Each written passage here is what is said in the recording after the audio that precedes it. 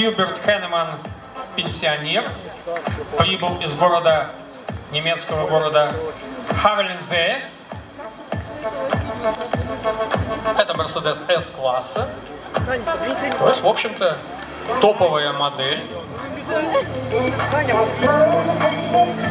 160 лошадиных сил под капотом у этого Мерседеса. Ну, по нынешним меркам не очень большая скорость, но для 1969 года, да, это топ-двигатель объемом 2800 кубических сантиметров.